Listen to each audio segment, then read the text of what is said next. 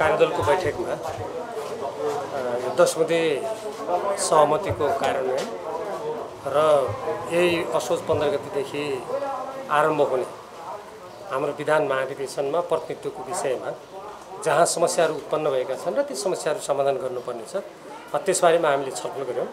र त्यसको लागि उपयुक्त विधि र एउटा संरचनागत समाधानका विभिन्न उपायहरूको बारेमा हामी छलफल गरेका छौँ र ती कतिपय उपायहरू जहाँ जहाँ समस्याहरू देखिएका छन्।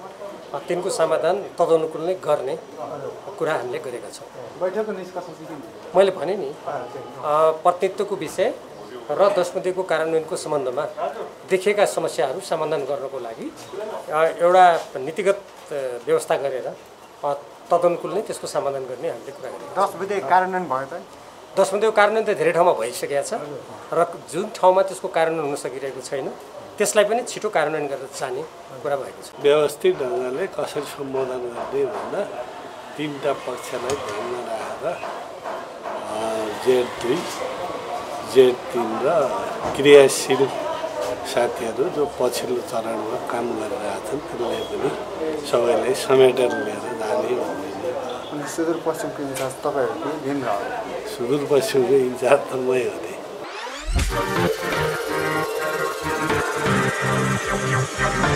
Thank